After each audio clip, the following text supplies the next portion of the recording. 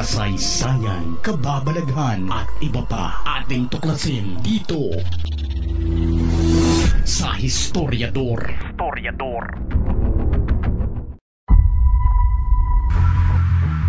Ilang videos na din ang kumalat sa YouTube at iba pang mga social media platforms ang tungkol sa mga pamamaraan sa India ng paggawa ng mga street foods. Kinagigiliwan ng ibang mga Pilipino ang pag-share sa mga videos na ito dahil sa mga kakaibang ginagawa nila sa paghahanda ng pagkain ito. May iba din namang parang normal lang din sa ating mga Pinoy pero karamihan talaga ay ginagamitan lamang ng kanilang mga kamay at mga kubyertos na mukhang kailangan na talagang pakuluan ng ilang oras para masigurong namatay na ang mikrobyo sa kapal ng dumi nito. Base sa mga tradisyonal na mga pamamaraan ng paghahanda sa pagkain sa India, hindi talaga prioridad sa kanila ang pagsiguro kung nahugasan o malinis ba ang mga kagamitan ng kanilang pagluluto. Unang-una, 70% sa tubig tabang o freshwater sources sa India ay kontaminado. Halos lahat ng kanilang pinagkukuhanan ng tubig, mga lawa, ilog at mga sapa ay kontaminado ng dumi na galing sa mga pabrika. Wala ding treatment ang kanilang sewage system na dumadaloy direkta sa mga kanal. Papunta sa mga ilog at tampak din ang basura sa kanilang lugar. Problema ang tubig sa kanilang lugar dahil na rin sa mga kakulangan ng mga infrastructure na maaaring makatulong sa problema nila. Mahirap ang bansang India.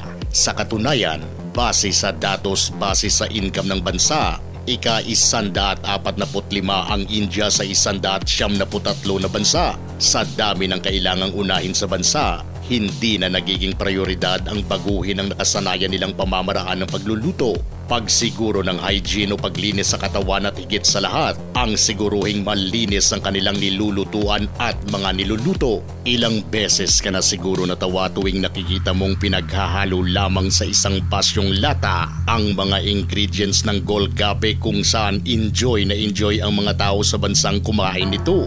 Kung tutusin, ang paghahalo nito sa loob ng lata na hindi masyadong nahugasan ang pinakamenos ang problema. Hindi rin ang paggamit ng kamay ng nagluluto sa paghahalo nito. Habang ilang minuto pa lamang ang nakalipas, ay nagkamot ito ng kanilang singit at ibang bahagi ng katawan. Ang pinaka-problema talaga dito ay ang tubig na pinanghahalo dahil nga sa kontaminado ang kalimitang pinagkukuhanan nila. Hindi nga nire-rekomenda ng World Health Organization ang pag-inom ng tap water sa bansa dahil baka ito ang maging rason at mahospital ka habang nagbabakasyon dito. Hindi rin ipinapayo ang paglagay ng ice sa iyong inumin dahil pa rin sa parehong rason.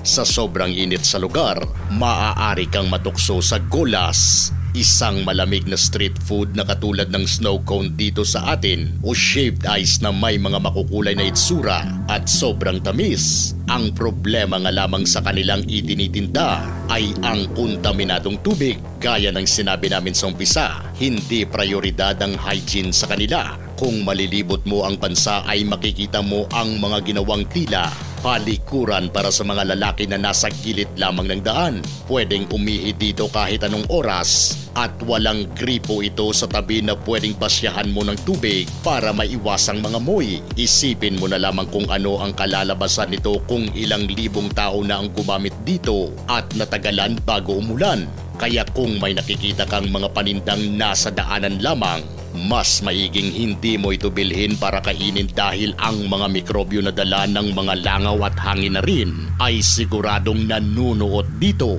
Marami ding mga prutas at gulay na mahahanap mo sa lugar. Kaya kung umiiwas ka sa nakakagulat na itsura ng may mga karning pagkain, ay may mabibili ka pa din na mas menos ang problema. Yun nga lang, isang bagay ang dapat mong maalala. Babalatan mo dapat kung prutas ito. Hindi mo pwedeng hugasan gamit ang tubig nila dahil siguradong magiiwan ka ng mikrobyo dito. Sa nakikita mo sa internet na pamamaraan na pagluto nila ng mga street food sa kanilang bansa, ang tanong, gusto mo pa rin bang tumikim ng kanilang pagkain?